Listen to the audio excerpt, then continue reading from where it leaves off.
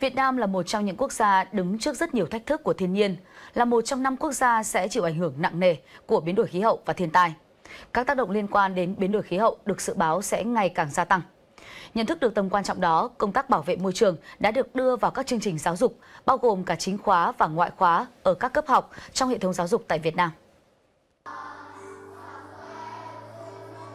10 giờ 30 tiết học ngoại khóa của các em học sinh cấp 1 trường liên cấp quốc tế IQ bắt đầu. Nội dung buổi học được gắn liền với ngày hưởng ứng quốc tế giảm nhẹ rủi ro thiên tai 13 tháng 10 với mục đích giúp các em có thêm kiến thức về biến đổi khí hậu, kỹ năng phòng chống thiên tai, từ đó biết cách bảo vệ môi trường. Khi tham gia học lớp này, con cảm thấy bổ ích hơn, sẽ tiết kiệm điện nước hơn, sẽ không vứt rác bừa bãi hơn. Con sẽ biết cách bảo vệ môi trường hơn. Khi con học ở trường, con đã rút ra kinh nghiệm là uh, bảo vệ môi trường hơn, tiết kiệm điện hơn. Trong mùa mưa lũ thì uh, con sẽ uh, biết tự uh, bảo vệ mình uh, và không ra đường khi uh, ngoài trời đang uh, bão to. Ở trường, bọn con được học rất nhiều sự tàn phá của thiên tai. đó, khi thiên tai xảy ra, con sẽ theo sát bố mẹ, nghe lời bố mẹ và giữ bình tĩnh ạ. Không chỉ nâng cao kiến thức cho học sinh về thích ứng phòng ngừa giảm nhẹ tác động của biến đổi khí hậu và bảo vệ môi trường, nhà trường còn hình thành cho các em sự cảm thông, đồng cảm với những người bị ảnh hưởng bởi thiên tai.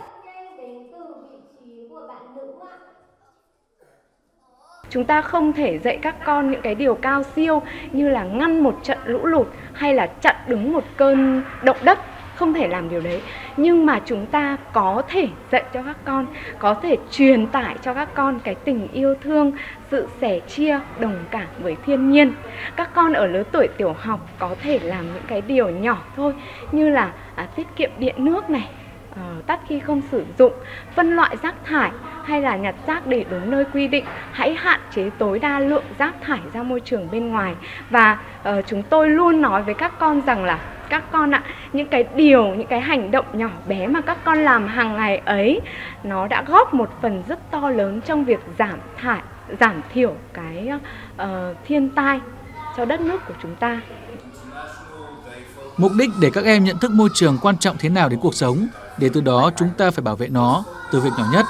Và bảo vệ môi trường nên bắt đầu từ việc giáo dục ý thức bảo vệ môi trường, nhất là cho học sinh. Ngoài ra, nhà trường còn đưa nội dung phòng tránh giảm nhẹ rủi ro thiên tai vào để giảng dạy cho các em.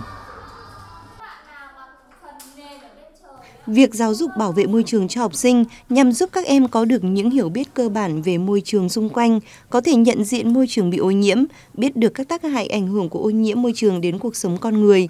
đồng thời hình thành ở trẻ những kỹ năng, thói quen và hành động bảo vệ môi trường xung quanh, giúp các em có thái độ sống tích cực, thân thiện với môi trường.